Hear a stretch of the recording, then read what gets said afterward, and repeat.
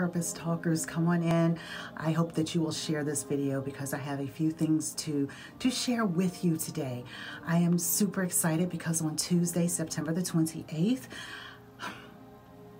Becoming the Whole Woman Virtual Summit will be live. And you have four days of incredible, profound speakers, pastors, ministers, singers, authors, podcasters, and me to listen to, to glean from, and otherwise be encouraged to read the Word of God, to see the areas of your life that you could change, to continue to grow in the Lord and spiritual maturity.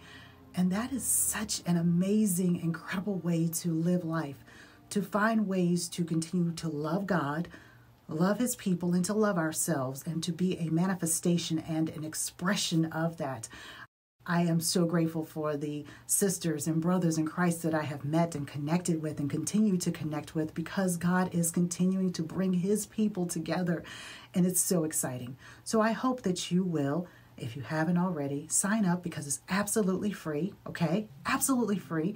You can go in each day and experience four different perspectives. And I will have the list and the links, of course. They'll be up here. And if you wish, if you need to go at this on your own pace in your own time and exactly how you want to do things, then for $15 you get an all access lifetime pass that you can come in and watch it whenever you need or want to. Plus, there's the the excitement of the extra bonuses, which are phenomenal. Okay, so if you go for the all access pass, $15, you have a lifetime to go in, to look, to glean, to go back. And you also have the privilege of grabbing some extra bonuses.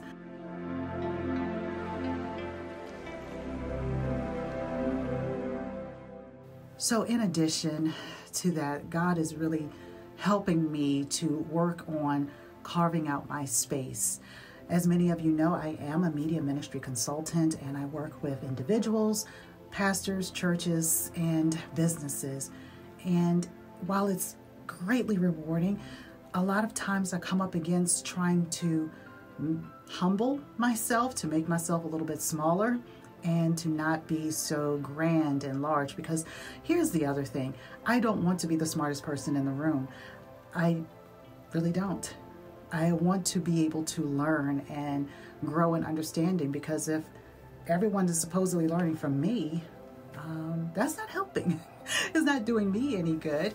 Um, I'm grateful for those I'm able to advise, but I think that in life that we are to glean from one another, and there is a time and a purpose and a place for each thing.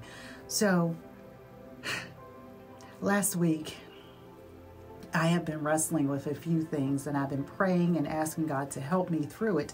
So I'm going to share this with you because he God answers prayers. He does hear us.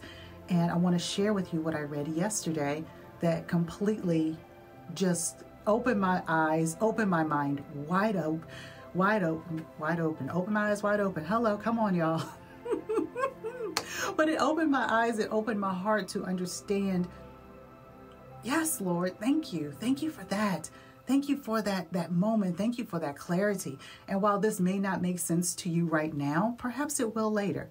Perhaps this is something you've been praying over. Maybe you're dealing with a relationship, uh, a situation that you just can't seem to. Mm, you know, it's just frustrating and you're grr, and it's like, why won't these people just get it? I'm here to help. so, as I'm wrestling with that, I'm going to share what I read first, and then I'm going to share the verse and the scripture that goes with it. I will leave some music and, of course, some lovely scenery shot by my beloved uh, from his drone. And I just thank you so much, sweetheart. Thank you, thank you, thank you for um, just for everything. So, what I received yesterday was a quote from Andy Stanley, and it said, Rather than being right at one another, rather than being right at one another. God wants us to be right with one another.